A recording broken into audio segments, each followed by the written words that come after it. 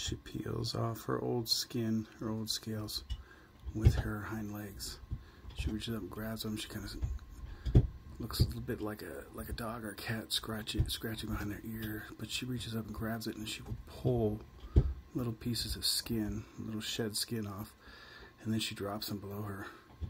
She also never poops up on the plants. She crawls all the way down and will get underneath covered areas, and there she poops.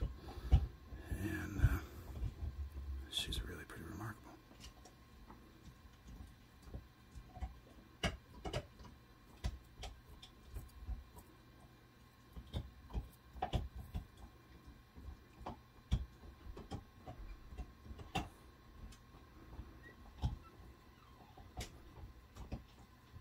And there she did it.